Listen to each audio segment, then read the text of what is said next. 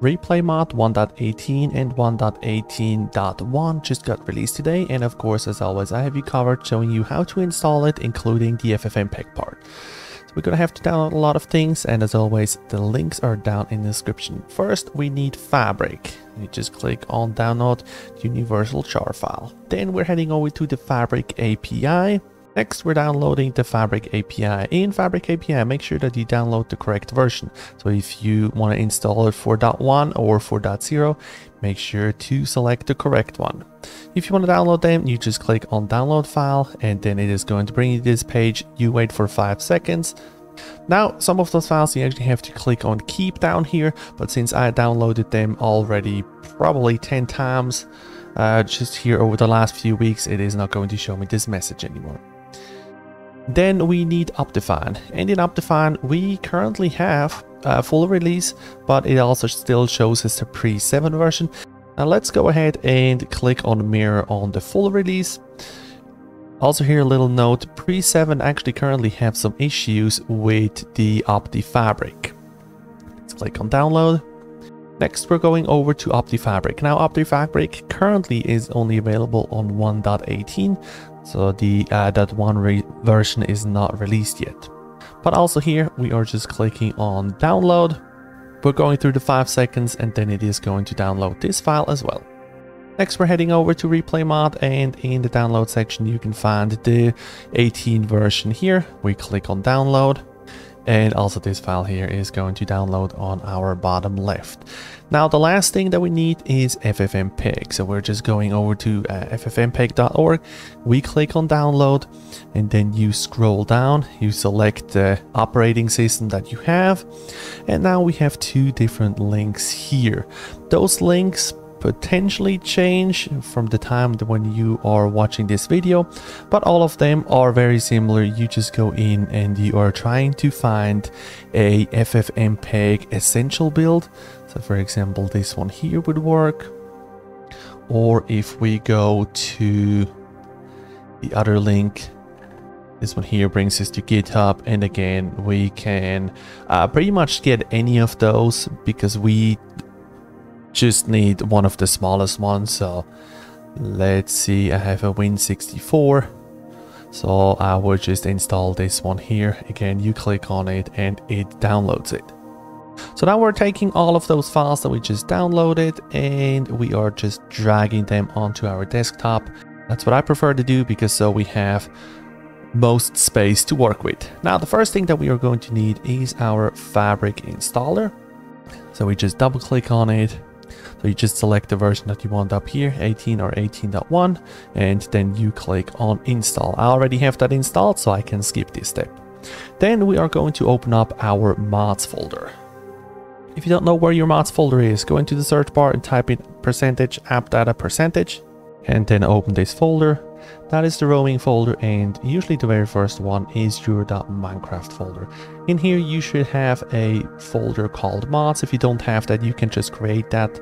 Right click, create a new folder called mods. Now we have a few things that we have to drop over here. Of course we have to drop in our Fabric API. You can see I already have that in. So I don't need that. Then we drop in our Optifine and I'm actually going to replace my pre-7 and drop in the newest version. Then we are dropping in our replay mod. And we are also dropping in OptiFabric. And again, I already have OptiFabric in, so I don't need that. Now, you also could, instead of Optifine and OptiFabric, of course, you also can use Sodium and Iris, or you don't need them at all if you don't want them, but most likely if you do replay mod, you also want shader support. So next, let's work on our FFmpeg and I'm just going to drop that into my uh, video related folder. So as you can see, I already have an FFmpeg, but I'm still going to show you how you can do it. So you just right click the folder. Over here, you click on extract, extract again, and now everything is being unpacked.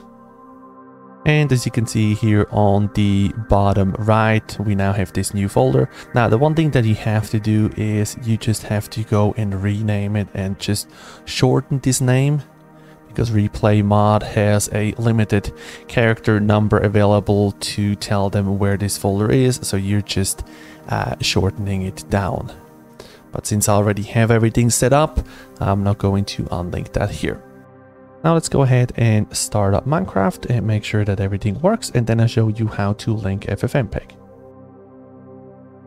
So we are at this screen again because with everything that we currently have, Optifine and OptiFabric does not work, but I'm pretty sure in a very near future everything is going to work. The problem is Replay just got released, 1.18 just got released, and then shortly after 1.18.1 got released, so sometimes some of the mods are not compatible. And it looks like currently Replay mod with Optifine and OptiFabric. And I tried the pre-7 version and the uh, full release version and um, OptiFabric it not working together. And most likely OptiFabric is the the bad apple in the batch because OptiFabric already had issues with certain versions of Optifine. But for the time being, what already works is Sodium and Iris. And I'm gonna show you really quick where you can download those. If you are in replay mod, you can just click here to show the compatible sodium versions. And then as you can see here, it is compatible with sodium and iris. So all you have to do is click on the download here and that is downloading you the sodium version and then the iris one you just uh, click on the iris link here brings you over to this page here and I also will going to put this link down in the description and in the versions you can find this 1.1.3 we downloaded here and uh, you can just take those two files onto your desktop and then drop them into your mods folder also keep an eye on the channel because eventually we are going to have all the mods needed to go with Iris and Sodium to fully replace Optifine. And if you hit the subscribe button, you're going to see as soon as that video pops up. So now with Minecraft started up, you can see this little sign here that tells us that replay mod is installed. And if you go in here, you actually can see all your old replay files. So if you used replay mod before, all your files are still here. Let's go ahead and go into a server so that we can record something really quick. So now that everything is loaded up, we can start recording. If you don't know how to use replay mod, I have a version in the top right corner and soon I'm going to give you an updated version for 1.18. Now we just record for a few seconds here and then we can stop the recording. As soon as we end the world, replay file is being saved. And if we go back in the main menu and we go into the replay viewer, we now have this uh, file here. So let's load it up. And let's just drop our markers in. And now if we go into render camera path, all the way at the bottom here in this file, we have to tell replay mod where is our ffmpeg file. And as you can see for me it is already in because I used it before. But if you use replay mod for the first time you just go wherever you installed your ffmpeg folder. You go into that folder and now it's in here in bin and we have this ffmpeg.exe all we have to do is we just copy this one here with control C. We go back in here. We delete everything out that's here. Control V slash ffmpeg dot exe and now you can click on render and it is rendering your video. Thank you very much for watching and I hope I see you at my next video.